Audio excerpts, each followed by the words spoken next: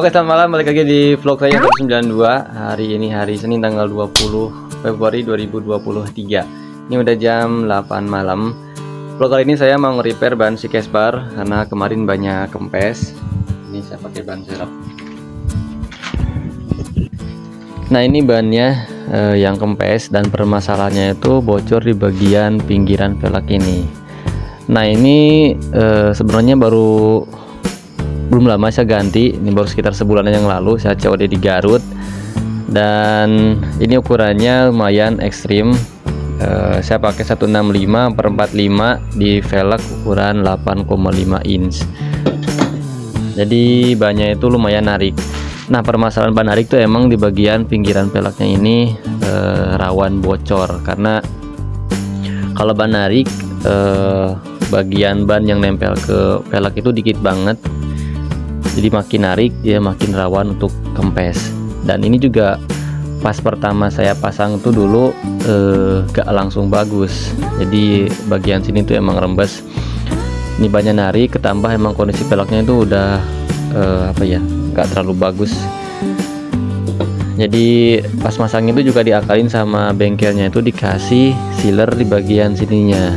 Nah masalahnya sealernya itu bukan sealer untuk uh, khusus untuk ban dia kasih sealer uh, kayak kayak lem kaca gini lem akuarium. Nah kayak gini.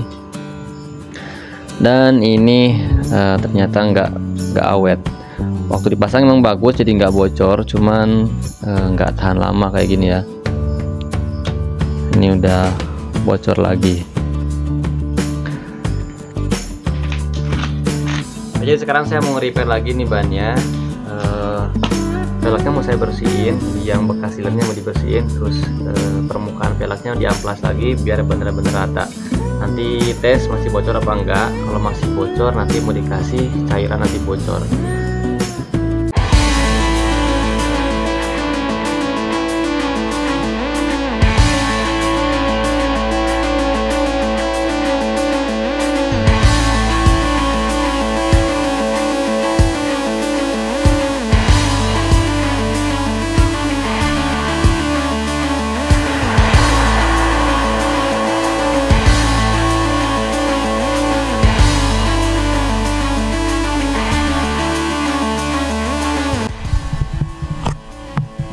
nah ini permukaan velgnya.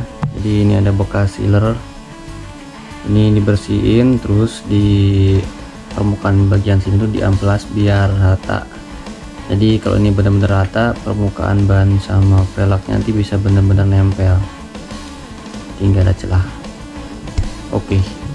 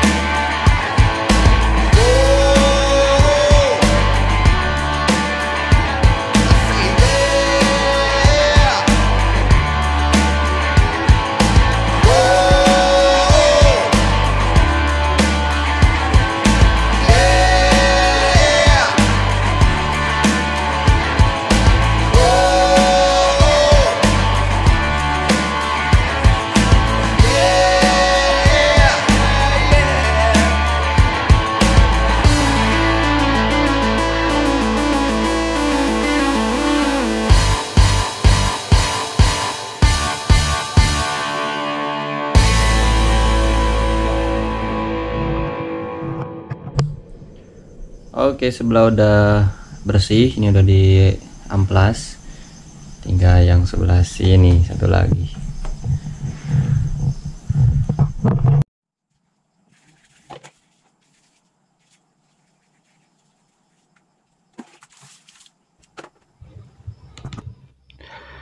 Oke ini udah selesai dibersihin permukaan velgnya. E, sekarang mau tes pompa. Bisa pakai kompresor mini mudah-mudahan nggak susah pompanya biasanya banali agak susah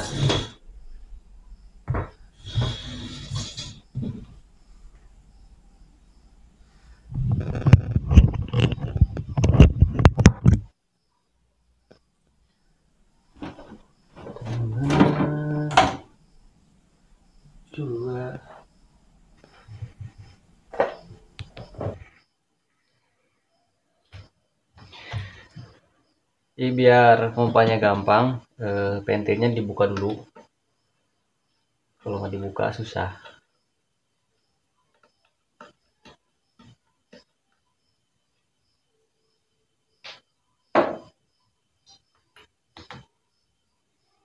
Jadi coba pakai selang langsung.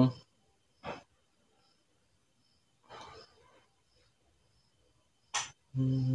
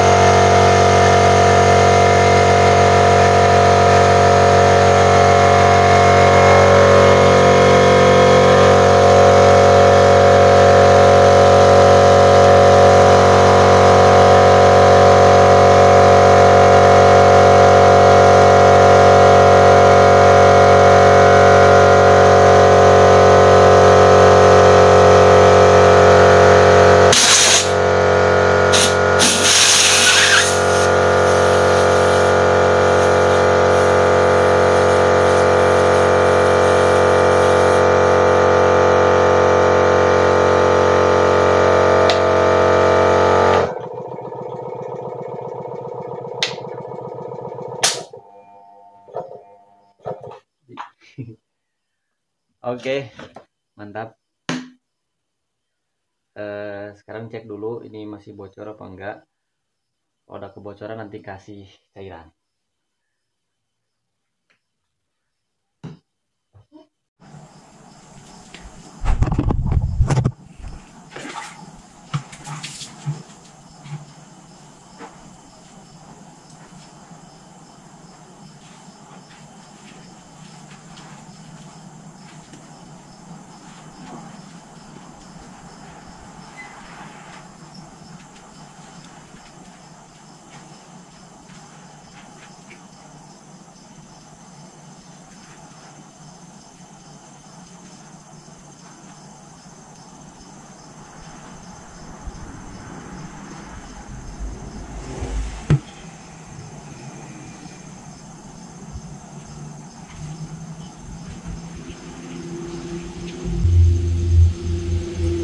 Yang ini kayaknya aman.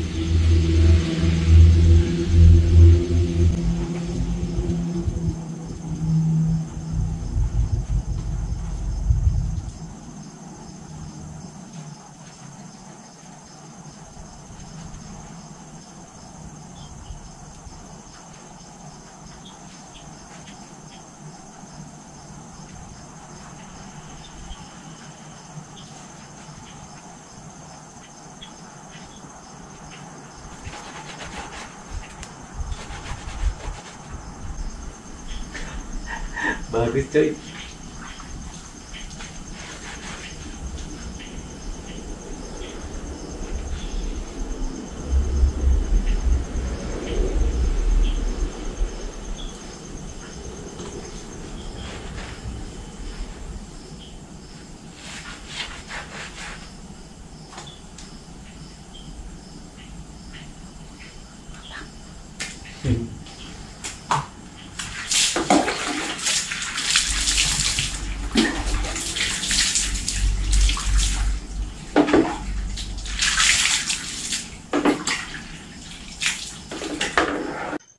Oke perbaikan bannya udah selesai. Sekarang udah bagus sudah nggak bocor lagi.